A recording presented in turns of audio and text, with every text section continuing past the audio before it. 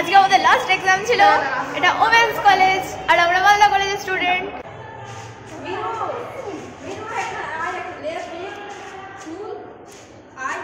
গেল আমাদের পরীক্ষা।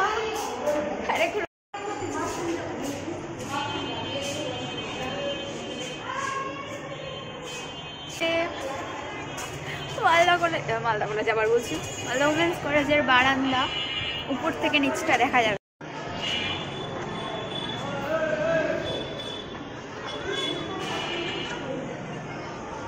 সায়েন্স কলেজের দোতলা থেকে নিচের ভিউটা ঠিক এই তো এই সময় আমরা আছি দোতলা উমেন্স কলেজে। ওখানে তিনতলা সিঁড়ি হয়ে গেল। উঠে গেল আমার দোতলায় পরীক্ষার সিট পড়েছিল। আমি কি যাব একটু উপরে দেখছি। আর এমনি কলেজটা বেশ সুন্দর। আর গার্ডও খুব ভালো দেখছিল। আজকে এক্সপেল করেছি। আমাদের ঘরে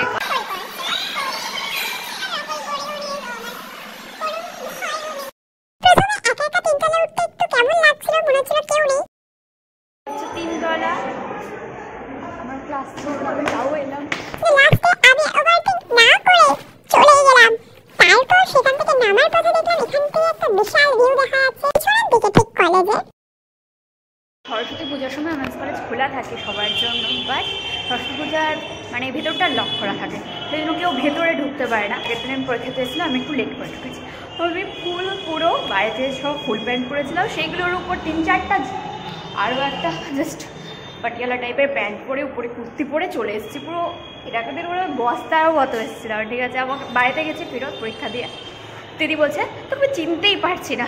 আসলে আমাকে চেনাই যাচ্ছিল না। আমার এত জামা কাপড় পরে এত মোটা হয়ে গেছিল।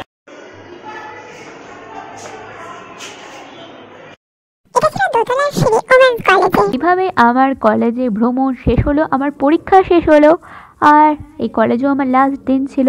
উমেন্স কলেজ বাইরে থেকে ঠিক এই রকম লাগে দেখতে। বেশ বড় সড়ো বাট তুলনামূলকভাবে অন্য যে কলেজগুলো আছে তার থেকে ছোট। বাট বেশ কিউটভাবে সুন্দরভাবে সাজানো, গোছানো, পরিষ্কার সব থেকে বড় কথা। পেছনের দিকে এখানে ক্যান্টিনও আছে।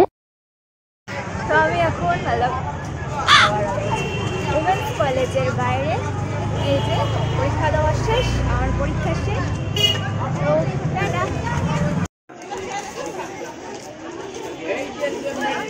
উমেন্স কলেজ নাইনটিন সেভেন্টিতে স্থাপিত হয়েছে আর কলেজের ঠিক বাইরে ছিল একটা ফুচকার দোকান, যেখানে মেয়েরা প্রচুর ভিড় করেছিল।